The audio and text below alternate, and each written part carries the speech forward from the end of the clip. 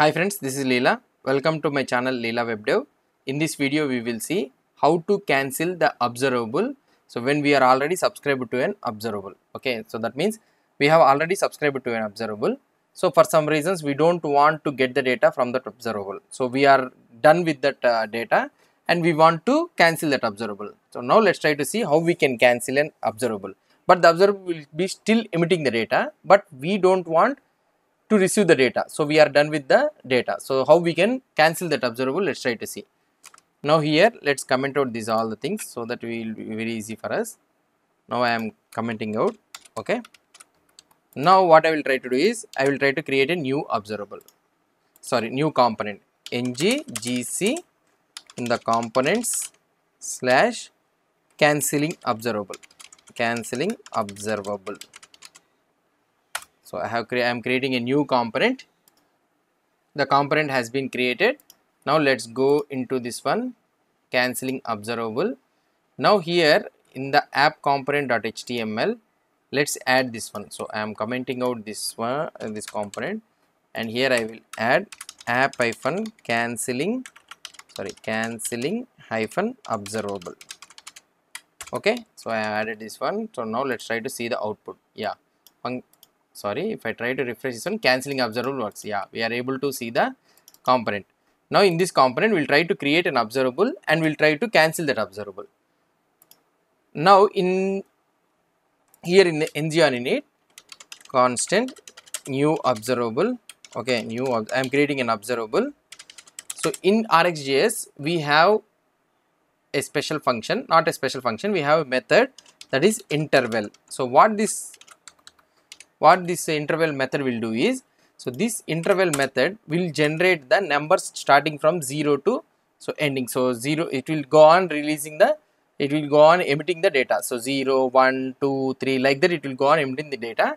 And here we, we can give the arguments uh, something like parameter the number of seconds. So how many seconds for how many second i need to emit the data. So for example 0 1 means how many seconds how many how many time period I need to send emit the data. So here I am taking it as second. So for every second just emit the data. So emit the data means nothing but it will generate the value from 0, 1, 2, 3 like that it incrementing value it will try go on emitting an observable.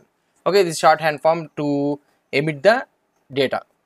Now here we have created an observable interval. This, so what this method will do is it is from RxJS imported from RxJS. It will gen it will generate the values from starting from 0 1 2 3 like that for every second. So if you give 2 here it will generate for every 2 seconds. Now i will subscribe to this one. So now if i write if i try to subscribe to this one now what i can do? New observable okay dot subscribe okay. So here you will be getting the data. The data is nothing but the number. Now here if i try to console.log data so i will try to do console.log data now if you if you try to see the output okay so i am refreshing this one. So here you are able to see before function these all things right? Okay fine. Let's try go here and let's comment out this one all so that it will be playing okay so this is the previous videos one. Okay now here if you try to see 0 1 2 3 4 so like this it is generating for every second. If you want to check that time means so we can also write the time here.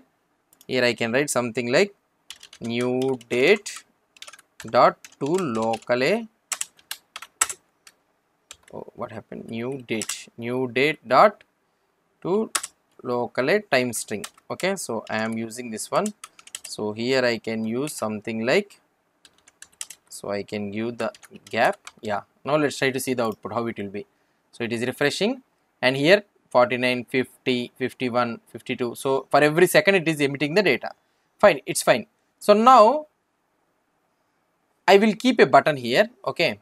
So I will add a button such that here I will be adding a button button cancel timer okay? So I want to cancel this timer. Now upon clicking on this one I need to execute the met method. So cancel timer okay? So here I will using you I will use this method. Here in this one cancel timer okay so now in this cancel timer just console.log so cancel the observable. So we need to cancel the observable. So i am cancelling the observable. Now here if i try to see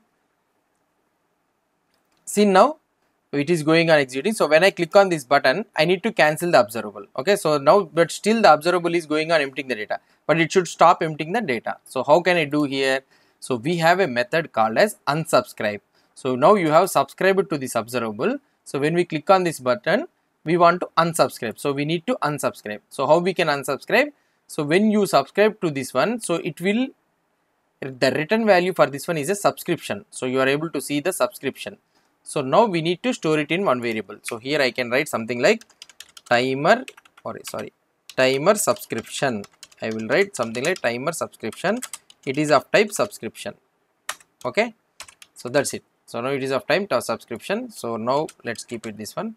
So now what i will try to do is so here i need to assign it to this new observable this dot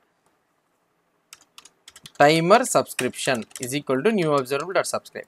So now if i try to copy this one okay. Here what i can do this dot timer subscription dot unsubscribe. So i can do the unsubscribe here so this is how we can do the unsubscribe. So here we have did the unsubscribe. So whenever we click on this button so we need to do the unsubscription. So if i go here and if i refresh the page so the timer the timer has been started. Now when i click on this button it has to it has to stop the timer. So if i click on cancel timer see the timer has stopped. Okay? So this is the way we can stop the subscription. So now if whenever you are subscribing to this observable so you need to if you want to unsubscribe means we need to do the unsubscribe. So we need to do this unsubscribe so that the observable will be stopped. Okay. And another one what we can do is so instead of have instead of having this interval method so we can what we can do is we can create our own observable right? So we will try to what we can do is we will try to replicate this own observable. So in the next video what we'll try to do is we'll try to create our own observable what the interval is doing. So we'll try to do it as our own so that we can try to uh, so that we will we will see what what what is the problem we are having and we'll try to overcome this one. Okay? Hope you understood about this unsubscription thing. So whenever you are subscribing to an observable means so we can we need to do the unsubscribe if you don't want to get the data anymore.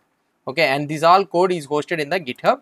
So if you want you can get the code. So some people are asking me so about the source code and all those things.